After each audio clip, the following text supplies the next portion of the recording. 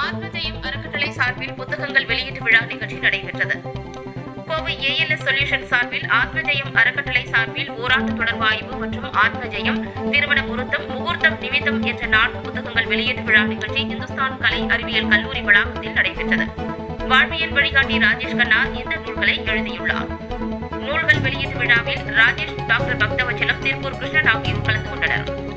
விழாவில் நூல்களை எழுதிய ராஜேஷ் கண்ணா பேசுகையில் ஜோதிடத்தை முழுமையாக உணர்ந்து அதற்கு முக்கியத்துவம் கொடுத்து அதன் அடிப்படையில் திருமணங்களை முடிவு செய்தது அந்த காலம் என்றும் திருமணத்திற்கான ஆழ்வும் அர்த்தமும் அறிந்திடாமல் வெறும் விளம்பரங்கள் செவிவழி செய்தி சமூக ஊடகங்களில் பரப்பப்படும் அரை விஷயங்களை நம்பிக்கொண்டு எடுத்தேன் கவிழ்த்தேன் என கெட்டி மேலும் கொட்டப்படுகின்றன என்றும் மொபைல் செய்திகள் மூலமாக வரன் தேடி பணம் முடிக்கும் மனநிலைக்கு மக்கள் வந்துவிட்டனர் என்று கூறியவர் மனித சமுதாயம் வளப்பெற இறைவன் நமக்கு அளித்திருக்கும் மிகப்பெரிய கொடைகள் முகூர்த்தமும் நிமித்தமும் ஆகும். அவற்றை பற்றி தெளிவாக நாம் தெரிந்து கொள்ள வேண்டும் என்றும் கூறினார்.